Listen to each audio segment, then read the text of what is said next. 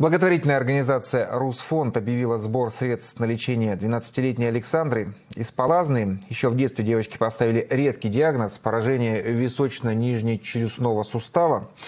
Поскольку ребенок растет, постоянно нужны новые медицинские вмешательства.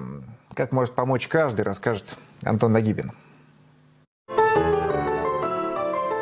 Александр увлекается музыкой и танцами, хочет стать дизайнером и уже осваивает специальные программы. При разнообразных увлечениях и талантах мечтает девочка о том, что для других в порядке вещей. Я хочу, чтобы я была как все, чтобы мне тоже рот нормально открывался, чтобы ровное лицо было, ровные зубы. Асимметрию лица мама заметила, когда Саше было несколько месяцев, но врачи уверили, что это нормально. В полтора года у девочки почти перестал открываться рот, тогда поставили диагноз анкилозирующее поражение височно-нижнечелюстного сустава.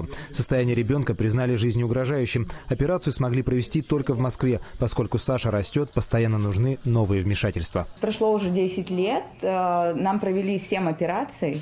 Э, будет еще, ну, может быть, 5 операций, будут оперировать до 20 лет. Каждый год, 4 раза в год мы ездим в Москву, нам проводят обследование, э, КТ, сдаем анализы. И 10 лет мы справлялись своими силами.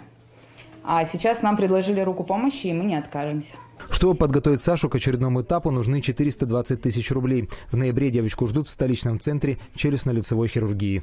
Показано продолжение комплексного ортодонтическо-хирургического лечения. После удаления дистракционного аппарата показано продолжение ортодонтического лечения с помощью брекет-системы на верхней и нижней челюсти.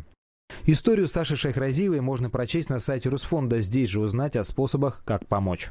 Сделать это проще, чем кажется. Необходимо отправить на короткий смс-номер 5542 слово «Дети». Стоимость сообщения 75 рублей. Либо воспользоваться приложением «Русфонд» для смартфонов. Сейчас Саша готовится к поездке в Москву. Надеется поскорее вернуться к младшим братьям и, конечно, к своим увлечениям. Антон Нагибин, Лариса Тверетинова, Александр Сигалаев, Вести Пермь.